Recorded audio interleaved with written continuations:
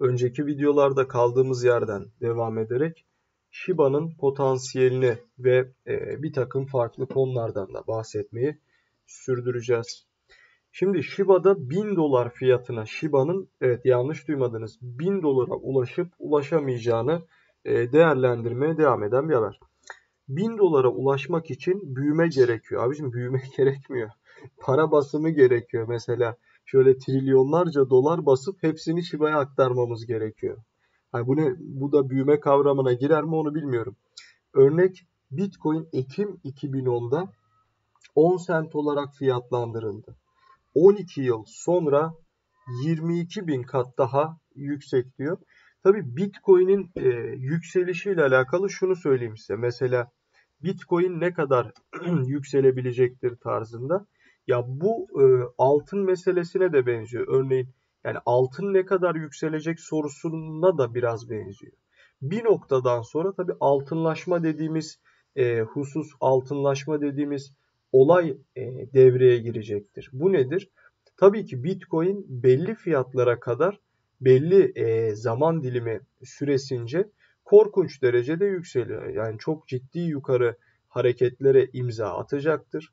E, bunun hangi seviyeler e, olacağına dair şu an için net bir şey tabii ki de söyleyemiyoruz. Ama gelecek birkaç 10 yıl daha fiyatlarının agresif şekilde yükseleceğini düşünüyorum.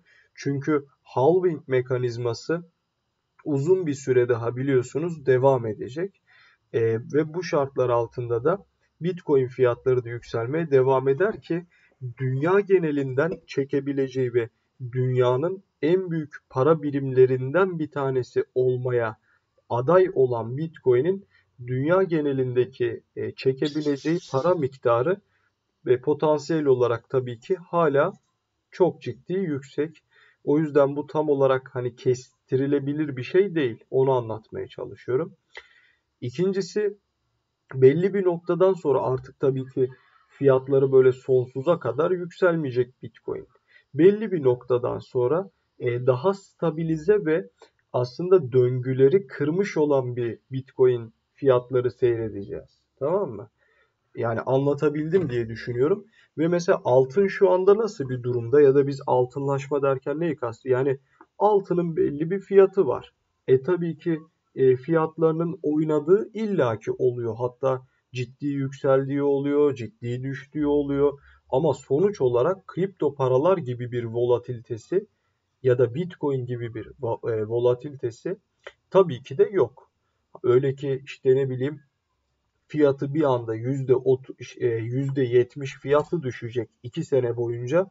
Sonra 2 sene içinde 20 kat artacak falan tarzında. Altında böyle bir şey yok. Yani bir, bir yerden sonra e, bu döngü kırılıp altın gibi hareketler yapması e, ve bu şekilde davranması Bitcoin'de beklenmektedir. Bu da tabii ki diğer kripto paraların da e, bir noktada önünü açacaktır muhakkak. Hani diğer kripto paralar içerisinde belli bir ve farklı bir hiyerarşi oluşturacaktır. İşte Ether için ne bileyim e, XRP için vesaire. E, bunlara da bir yerden sonra dediğim gibi fazlaca bir e, fon kayması ve ekstradan durumlar olabilir. Evet.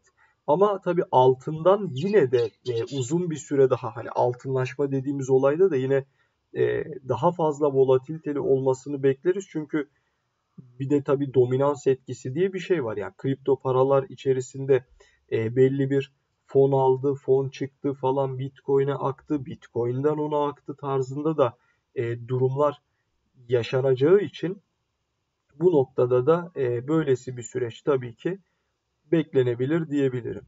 Ya Bitcoin'deki e, bu mevcut volatilite sonsuza kadar sürmeyecek yani. Onu belirtmeye çalışıyorum. Peki. Piyasa değeri 1000 dolar uygun değil. Evet. Shiba Inu'nun yıllık yüzde abi şu artık şu yıllık yüzde 25 muhabbetini falan geçeceksiniz ya. Yatırım kalitesi gereken büyüme gereken süre kriterleri göz önüne alındığında Shiba Inu'nun 1000 dolara ulaşma şansı yoktur. Daha detaylı analiz edelim diyor. Shiba Inu'nun 13 milyon kez yükselmesi mümkün mü? Shiba Inu'nun e, işte 10 nedir bu? Bu kadar olmuyor bu arada. Yok bu kadar oluyor mu? 1, 1 milyar x'ten bahsediyor. Peki artması gerekecek. Abi bu kadar olmuyor ya. Fazla yazmışlar.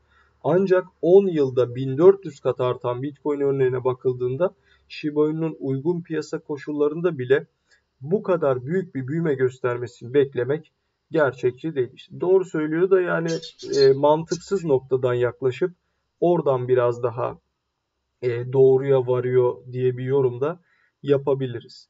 Mesela gelecek 10 yılda Bitcoin'in e, katlama oranı 1400 kat olur mu sorusunun cevabı da e, zannetmem. Yani e, bu fiyatlarda gözükeceğini ben çok sanmıyorum. Yani Bitcoin'in 1400 kat daha e, yükselişe devam etme ihtimali e, yoktur. Hani gelecek 10 yıl. Ama dediğim gibi yine de fiyatları e, korkunç derecede yükselebilir diye durumun altını e, çizebiliriz.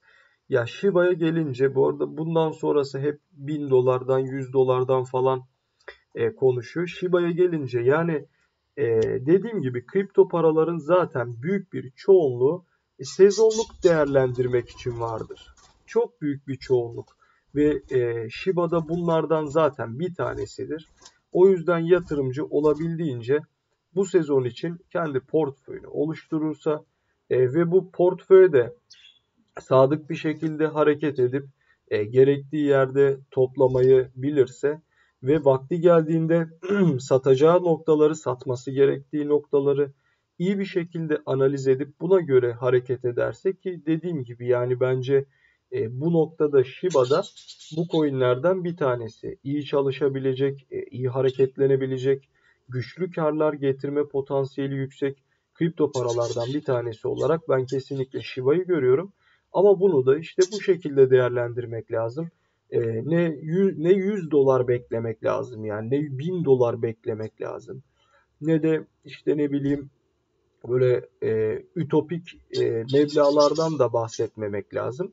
Görece yatırımcının daha çok şey şöyle nasıl diyeyim ben size yani portföyünü oluşturmalı, portföyüne sadık kalmalı ve böyle hareket etmelidir. Shiba'da ekseri her ne kadar 22 bin kat falan artamayacak bile olsa sezon içinde Bitcoin'in ATH'ından sonra görece e, hayli daha yüksek seviyelere ulaşmasını beklediğimiz bir altcoin'dir.